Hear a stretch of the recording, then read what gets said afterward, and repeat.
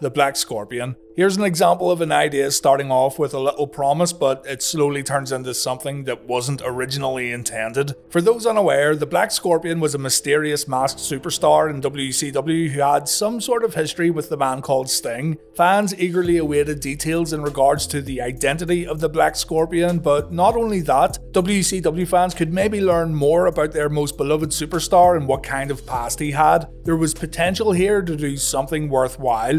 It started off not too dissimilar to the Kane revelation in the WWF during 1997, a mysterious entity from a superstar's past coming back to get revenge, but trust me, the Black Scorpion was nothing like The Undertaker's younger brother. A lack of clear direction and some problems backstage would result in this storyline pretty much getting shit canned, with the big reveal getting changed into something a bit more predictable. Let's take a look at the Black Scorpion in WCW. We're going to go all the way back to 1990 for today's episode. Jim Herd is the executive vice president of World Championship Wrestling, while Ole Anderson books the shows. As we know, Jim Herd got a lot of criticism due to his efforts to turn WCW into another WWF with cartoony gimmicks aimed at a younger audience. His gimmicks were not only cartoony, but some of them were downright silly. Ole Anderson, someone who concerned himself more with the old school style of wrestling booking, got frustrated with Herd making changes to shows and wanting Ole to rebook events that had already been laid out. And it was through these frustrations that the Black Scorpion was born. All this information comes from Anderson's RF video shoot interview, by the way. One day, Ole presented Herd with a booking sheet. Herd wanted it rewritten, so Anderson went back to his office and he wrote down Black Scorpion and Sting, not knowing what this was going to be. Anderson said Herd got a look at the new sheet and he said, Now you're learning. Anderson said, because I put down the Black Scorpion, he thought that was the answer. I had no idea what the Black Scorpion was going to be. I had no idea, no idea at all. So just from hearing a more gimmicky name, Herd thought this was going to be a great idea and Anderson now had the task of creating this Black Scorpion character. You gotta keep in mind too that this could very well be Anderson trying to save face and kinda push the blame over to someone else, because Ole was also fired the day this whole Black Scorpion thing came to an end and many believe it was this storyline that sealed Anderson's fate. To be fair, the name works. Sting, Scorpion, you know what I mean. The name was there and it already got greenlit, but now Anderson had to create the character. He had to find someone to play the character, and he had to come up with a story and a reason for this character wanting to face Sting, the NWA World Champion at the time. Jim Ross said Ole Anderson was dismissive when asked about the Black Scorpion. Ross said that Anderson told him he didn't give a shit and he'd figure it out. It is a problem though, introducing new characters is fine and it happens all the time, but this character is going up against the company's top babyface. This is something that needs to hit its target because eventually the company would need to have the Black Scorpion versus Sting match, and people would also be expected to pay for that match. The fact that Anderson didn't know what was going on, and the fact that, according to Jim Ross, he didn't care either, that's an immediate red flag right there. Sting had just defeated Nature Boy Ric Flair at the 1990 Great American Bash for the world title, and the fans were overjoyed that their hero finally won the big gold belt. A month later, towards the end of 1990, Sting got interviewed by Bob Caudle, and Bob, out of nowhere, reveals that Sting has signed on to face the mysterious Black Scorpion at Clash of the Champions 12 in Asheville, North Carolina. Sting says he's seen a video clip featuring the Black Scorpion and he has no idea who this guy is. Sting says he's struggling to prepare for an unknown challenger, but he has to go for broke and defend the NWA Championship against anyone who steps up. Sting then shares the video that he watched for fans at home and have a listen. Sting, are you listening? of course you are.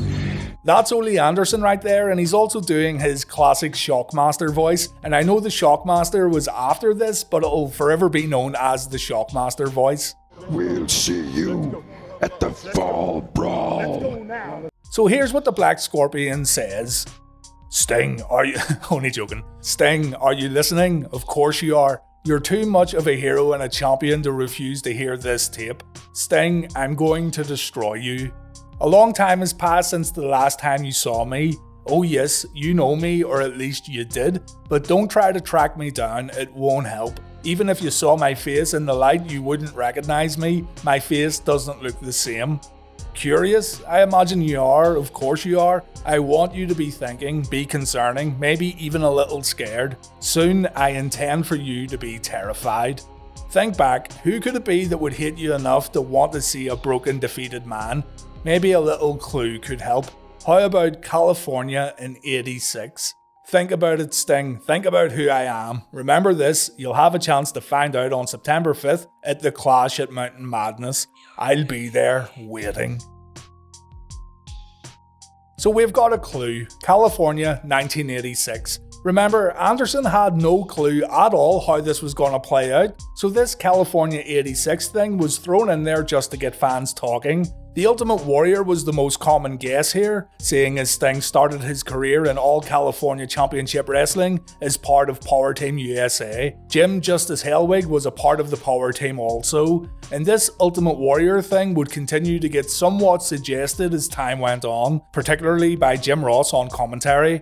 As we all know though, Anderson had no clue what was going to come of this, and of course, the Ultimate Warrior hadn't signed with World Championship Wrestling. He was the WWF champion at the time, and he was also in the middle of the biggest run of his professional career. Dave Sheldon was another guest. He was a former training partner of Sting's. He was working in WCW at the time as the Angel of Death, so that one lined up pretty well. Just to confirm, by the way, Sheldon did indeed wrestle as the Black Scorpion and he had matches against Sting while using the Black Scorpion gimmick. However, Sheldon only portrayed the character at house shows. WCW fans had a mystery on their hands. Those who presented this mystery had no clue where it was going to go, but still, younger fans would have been captivated by this stuff even looking back now, it started really well. Yes, it's hard to get over Anderson's Shockmaster voice, but the intrigue was definitely there. And while many NWA traditionalists would have turned their backs on this from day one, there was enough mystery surrounding the Black Scorpion to get that young demographic excited for what was to come next.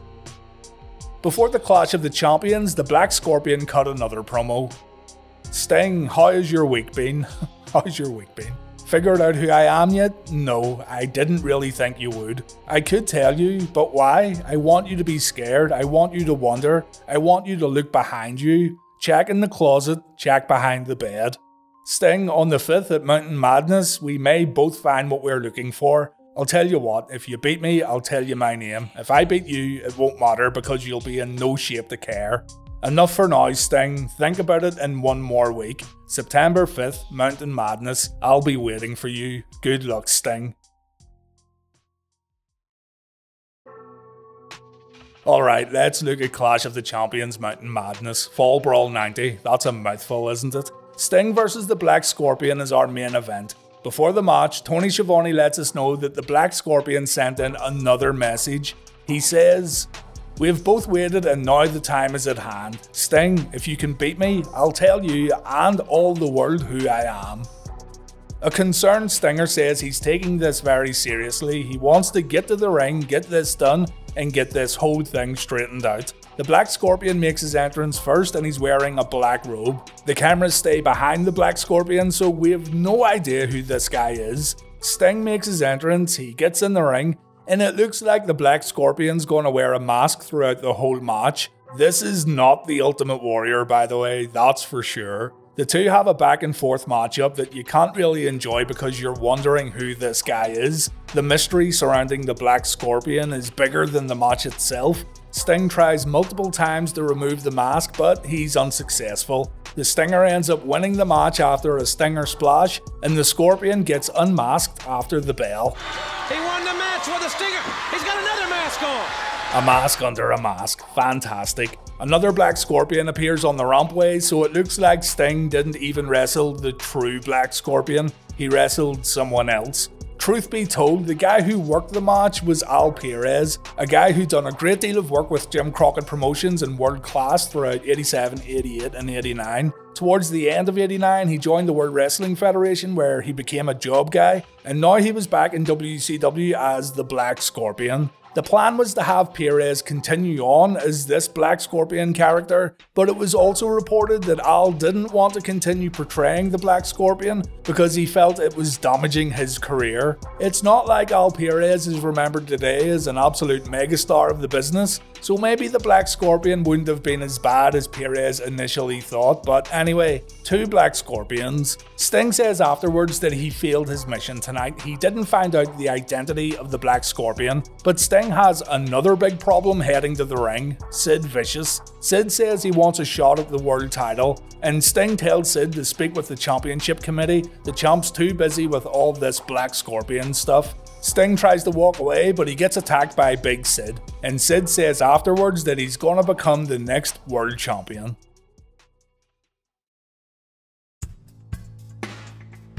So, Sting vs. Black Scorpion would begin taking place at house shows with Sting trying to unmask the Scorpion to reveal his identity.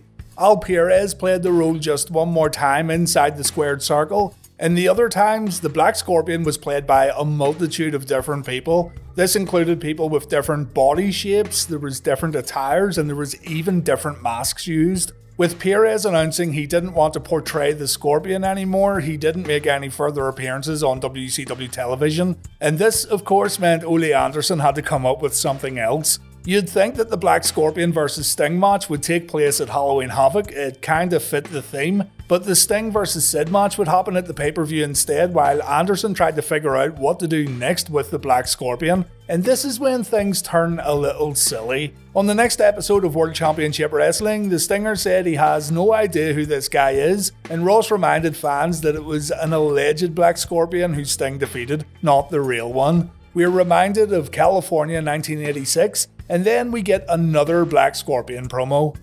Sting, I'm making a little present for you. Everybody else wants to take from you, but I want to give. In a while, I may even show you what it is, but first, I want to give you another clue. Los Angeles 86, on the beach. Think about it. I hope, as I intend, that you're slowly losing your mind. One thing you must remember while everybody, including the horsemen, are chasing you, there's a big difference. Sid wants your belt, I want your life. The next week, Sting would say something's clicking and he might have an idea who this is. Previous Black Scorpion promos get aired and Sting says he's close to solving the mystery, but he isn't 100% sure. The next week, the Black Scorpion sent in another video. This time he talked about how Sting's always confident, but the mystery of the Scorpion was making the champion lose control. Scorpion says Sting's face wasn't one of control at the clash, Sting's maybe losing his mind with all this pressure. The Black Scorpion says once again he will face Sting, and if Sting wins, all will be revealed. And again, he says Sid wants the title, but the Scorpion wants Sting's life. We go to the arena where Sting gets interviewed. He repeats what he said last week. He's very close to working out who this is. But then the Scorpion appears in the audience and he's looking over at the Stinger. Sting fails in catching the Scorpion and solving the mystery once and for all. While all this was going on, Sting continued to have matches against the Black Scorpion at house shows, and again, the size of the Black Scorpion would change along with the mask. Anyone who was available would wrestle as the Black Scorpion. The next week, we have another Black Scorpion promo, and honestly, there's not much point in going over what he says. He's repeating the same stuff he said weeks prior. The Stinger gets brought out for an in ring interview where he talks about dealing with both the Scorpion and Sid. Sid comes out wanting to fight the champ at that very moment, and then the Black Scorpion jumps in the ring and, uh, he he puts up his arms like a spooky ghost or a zombie or something. Flying Brian ends up saving the Stinger, and it looks like the Black Scorpion has no idea what he's supposed to do. Sting tries to grab the mystery man, but Scorpion escapes, so no face reveal tonight, folks. By the way, the Black Scorpion would have a match with Flying Brian, and the Black Scorpion would win. The next week, Gordon Solie got an interview with the Black Scorpion, but he, he, he had to wear a blindfold while conducting the interview. Gordon says this is the most demeaning thing he's ever done. The Scorpion says this is being done to keep his identity a secret. No shit. Solie wants to know why Scorpion hasn't revealed himself, and Scorpion says he wants to drive Sting mad. And the Scorpion wants Gordon to ask Sting about Tulsa. So that's California, LA on the beach, and now Tulsa. Tulsa was the home of Bill Watts' Mid South Wrestling or the Universal Wrestling Federation, where Sting and Jim Hellwig started teaming up as the Blade Runners. So, once again, were WCW really teasing fans with the Ultimate Warrior? Gordon Solie gets himself out of the Scorpions, uh, I guess it's a lair. The Black Scorpion then kept quiet for a few weeks while the commentary team carried the story, presumably because no one knew what to do and where to go with the story. And then we arrive at Halloween Havoc, and the Black Scorpion return to play mind games with the Stinger. This is when it goes from silly to downright ridiculous.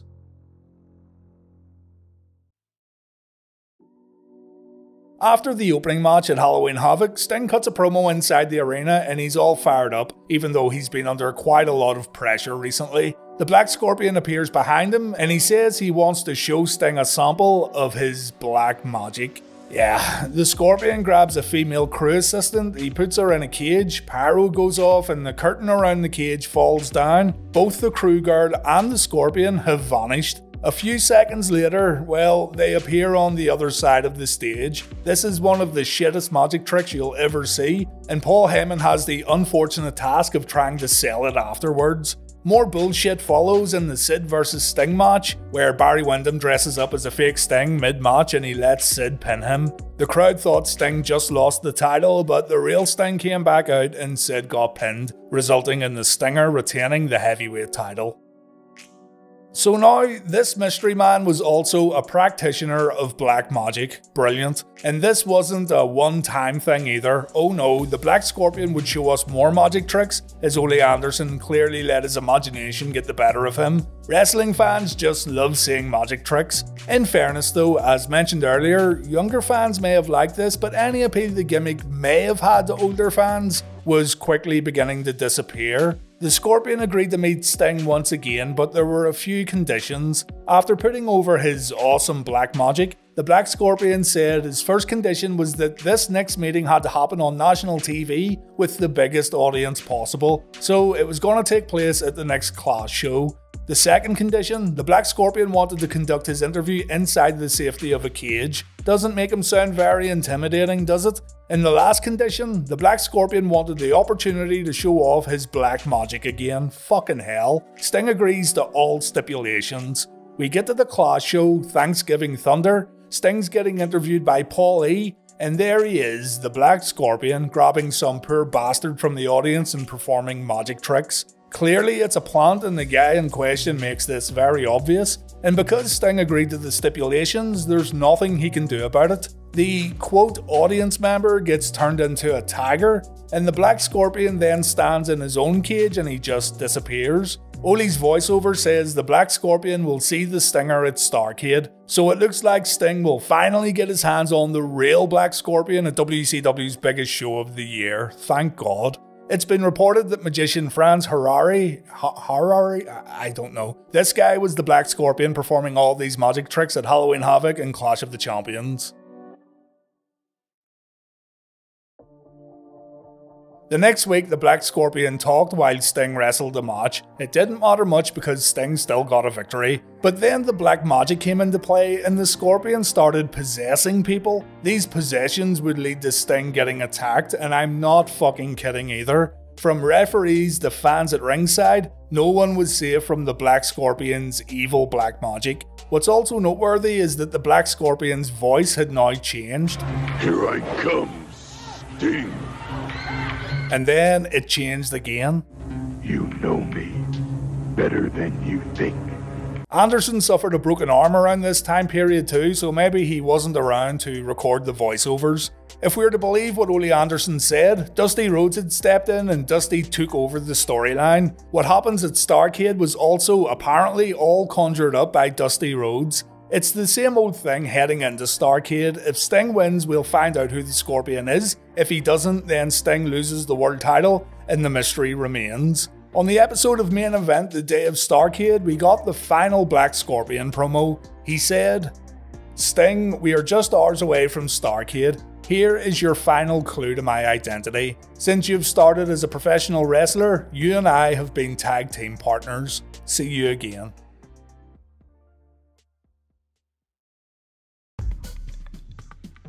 We get to the big show, and yes, we do find out the identity of the Black Scorpion at Starrcade 1990. Immediately after the match, the storyline stops, as does Ole Anderson's current employment. Sting versus the Black Scorpion is a steel cage match. Dick the Bruiser is our special guest referee, and the nonsense begins when a bunch of Black Scorpions head to the ring before the match begins. A kind of enclosure UFO looking thing comes down from the ceiling and it closes at the entranceway. It then opens up, and this is the real Black Scorpion right here. You can tell as much because of his sick robe and because of Ole's voice that says there's only one true Black Scorpion. Yeah, it sounds like Ole's back doing the voiceover, but for a few weeks it was definitely someone else.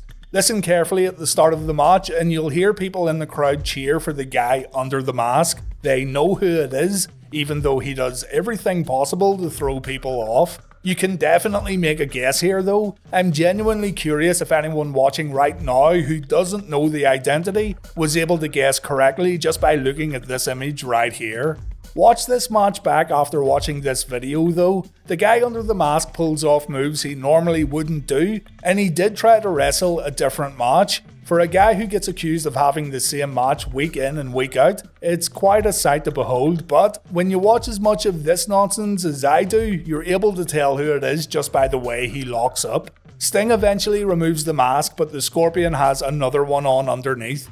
We can see some beach blonde hair too, so the jig was more or less up. Sting ends up winning with a splash from the top rope, but before he can take off the second mask, the other Scorpions hit the ring. Eventually, Barry Windham and Arn Anderson hit the ring too, and Sting gets taken out. You start to think that the mask ain't coming off tonight, but here comes some babyfaces to help Sting. Ricky Morton and Tom Zenk try to scale the cage, while the Steiners try to bust in with some bolt cutters. Sting wakes up, he manages to take the mask off, and it was Nature Boy Ric Flair. Think about this. What sense does this make? Ric Flair performing magic tricks and possessing people? This, as we've established, was not how the story was supposed to end, but fuck it. Throw Ric Flair in there with a mask and get it over with. On the next episode of World Championship Wrestling on TBS, Flair said Sting had heard the voice of the Black Scorpion, but now he was hearing the voice of the Nature Boy. Ric was coming after Sting's world title, and that was the end of the Black Scorpion deal in WCW. Less than a month later, Flair defeated Sting for the World Championship, and the Black Scorpion wasn't mentioned again. The whole California 86 and Tulsa remarks were never brought up, it was completely forgotten about. Flair said Barry Windham was the first selection to play the Black Scorpion role at Starrcade, but Flair stepped in, worried that it would hurt Barry's credibility. This leads us to believe that Flair knew that this was bad and he wanted to step in and take one for the team, so to speak. Herd wasn't a fan of Flair, we know that much, but it was rumoured too that Flair got the title again for stepping in at Starrcade and portraying the Black Scorpion character at the last minute, though that's never been confirmed. There's a fine line in pro wrestling when dealing with supernatural characters. It's got to be really good or it's going to be really bad. The Black Scorpion, I feel, started off with some promise, but it quickly went over that fine line and it became a joke. It all happened so rapidly, too. I mentioned this before, but young fans would have gotten a kick out of this, and I'm sure many of you viewing today might remember the mystery quite fondly. But the illusion gets shattered when we learn about how it all came together and the uncertainty surrounding the character. The black magic business too and the illusions performed on TV, that's the kind of stuff that makes the diehards shake their heads in disbelief. It's the WWF stuff done even worse than the WWF and that's an achievement in itself. Let me know your thoughts on the Black Scorpion though. Do you think this could have been more or do you think it was doomed right from the beginning? It'll be interesting to hear your thoughts on the topic. Thanks for watching guys and take care.